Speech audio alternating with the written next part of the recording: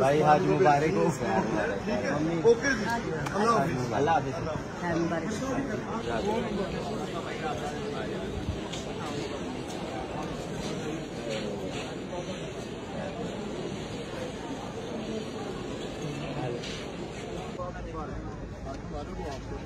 असद भाई बॉडीगार्ड किधर हो? असलम अम्मा।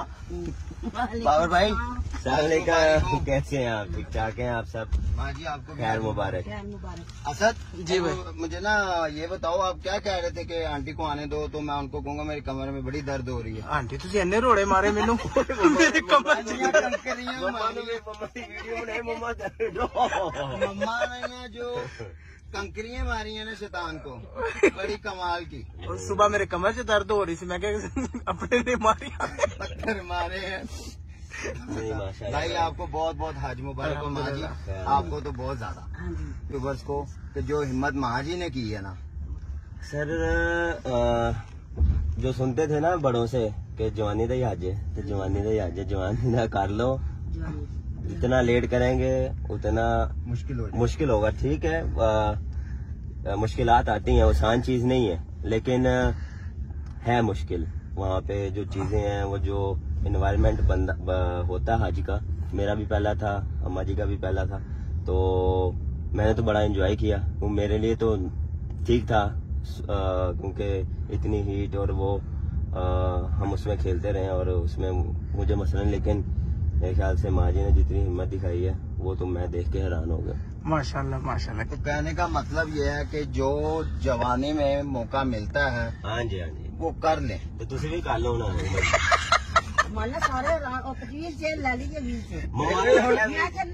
पत्थर मेरे हाल आ गई। तेन कंकर कंकर पैदल पैदल करना मैं माशा बहुत बहुत अच्छा हो गया बाबर ऑफिशियली हाजी साहब। हाजी साहब। हाय साहब। हाँ जी आपकी ईद कैसी गुजरी? भाई ईद पे कुछ भी नहीं मैं तो देखा मैं अभी आपने हमारा मैंने अभी देखा है।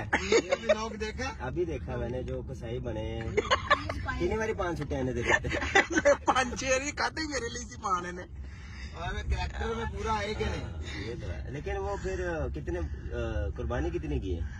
ਕੁਰਬਾਨੀ ਇੱਕ ਬੜਾ ਜਾਨਵਰ और दस छोटे ਬੱਕਰੇ कितनी गई थी ये ਮੈਂ आहो जेड़े कसाई बने सो ਇੰਸਟਰਕਸ਼ਨ ਨਹੀਂ ਇੰਨੀਆਂ ਦਿੱਤੀਆਂ ਨੇ ਬਸ ਇਹੋ ਹੀ ਕੁਝ ਹੁੰਦਾ ਹੋਰ ਕੀ ਹੈ ਕਰ ਲੋ ਇੱਧਰ ਕਰ ਲੋ ਇਹਨੂੰ ਕੱਟ वो ਦਿਓ भी ਇਹਨੂੰ नहीं ਜੋੜੋ कीता तुसी ਮੇਰੀ ਇਹਨਾਂ ਨੇ ਇੱਕ ਨਹੀਂ ਸੁਣੀ ਇਹਨਾਂ ਨੂੰ ਮੈਂ ਕਿਹਾ ਬੱਕਰਾ ਵਾਪਸ ਜੋੜੋ क्यों? ਨਹੀਂ ਕਹਿੰਦੇ ਨਹੀਂ ਇਹ ਨਹੀਂ ਨਹੀਂ ਸੁਣੀ ਫਿਰ ਮੈਂ ਚਲਾ ਗਿਆ ਅੰਦਰ नहीं मनने से ਨਹੀਂ ਕਹਿੰਦੇ ਇਹ ਨਹੀਂ ਜੋੜਦਾ ਹੁਣ ਸਾਹਿਬ ਜੀ बाबर भाई हाँ जी कैसा एक्सपीरियंस रहा हज का मुझे ये बताइए आपका पहला हज था बड़ा अच्छा एक्सपीरियंस रहा है और चीज़ें काफ़ी सीखने को मिली। ये नहीं है कि सिर्फ़ जो हज है वो अपने लिए करना हज यही होता है कि अल्लाह के लिए करना होता है अल्लाह को राज़ी करने के लिए होता है और हिम्मत चाहिए सर बहुत उसके लिए बहुत हिम्मत चाहिए मेरे ख्याल से जिस तरह माँ जी ने हिम्मत दिखाई है ना।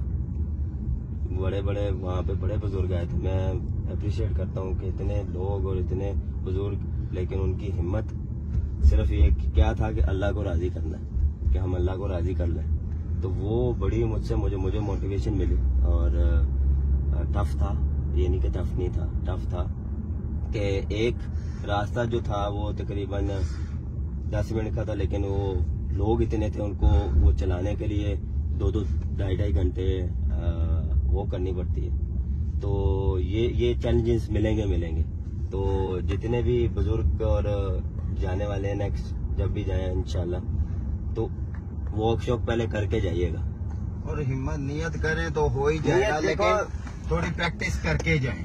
ये बुलावा अल्लाह की तरफ़ से ही आता है। ये नहीं कि हर बंदा कोई नहीं जा सकता। ये वहाँ पे भी देखे बड़े लोगों से वहाँ से जितनों से भी पूछा वो कहता अल्लाह का बुलावा आता है। नियत करो अपनी हंड्रेड परसेंट बुलावा आ ही जाता है। इनशाला तुम तो तो भी कर लो। ਹਾਂਜੀ ਵੇਦ ਸਾਹਿਬ ਤੁਹਾਡੇ ਲਈ ਸਪੈਸ਼ਲ 에ਅਰਲਾਈਨ ਇਜਾਜ਼ਤ ਹੋਏਗੀ ਤੇ ਫਿਰ ਵੀ ਜਾਓਗੇ ਇਨਸ਼ਾਅੱਲਾ ਇਨਸ਼ਾਅੱਲਾ ਤੇ ਅਗਰ ਉਮਰਾ यही करेगा इंशाल्लाह मैंने अगला मसला निकाला इंशाल्लाह मम्मी भी मिल गई जी जी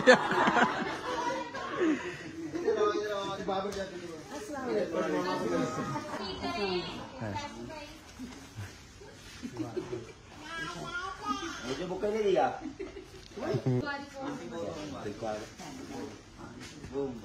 चल वो